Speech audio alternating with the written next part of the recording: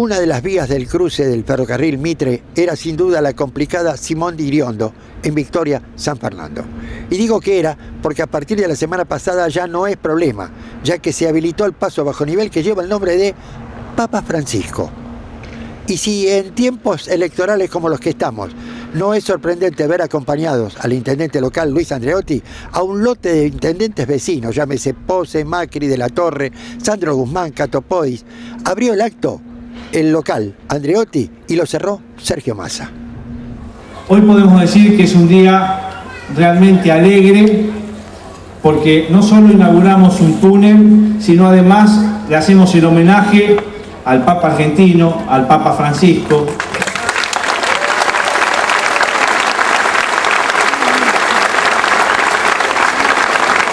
realmente para la Argentina fue una bendición y bueno, y desde el primer día, ya hace seis meses, está sembrando valores que va a permitir cosechar mejores dirigentes. Así que es un día de alegría por eso y también es importante mencionar por qué tenemos y estamos juntos los intendentes, que hoy uno tiene la satisfacción de que tantos intendentes que estamos trabajando en conjunto, es decir, estén presentes. Nosotros en el conurbano somos pequeñas eh, provincias. Muchos de los intendentes van a decir, que tienen más habitantes que muchas de las provincias. Y eso nos hace a tener muchas responsabilidades de provincia, pero nuestros ingresos son municipales.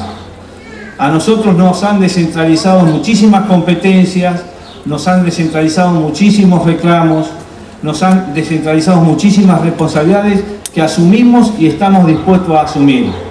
Muy buenas tardes a todos los vecinos y vecinas de San Fernando, de Victoria, este lugar tan importante para nosotros en el corazón.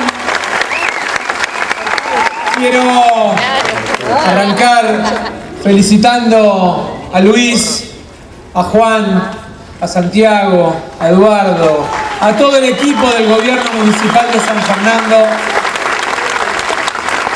que contra, contra viento y marea, contra la desconfianza, contra las dudas, contra la incertidumbre que genera muchas veces no poder planificar una obra por tanta inflación con la que tenemos que lidiar, por las dificultades que muchas veces significa el no tener desde todos los sectores del Estado capacidad de entender que una obra que encara una comunidad no tiene simplemente el valor de un hecho político de un intendente, sino que tiene algo mucho más importante, que es el hecho social del cambio para esa comunidad.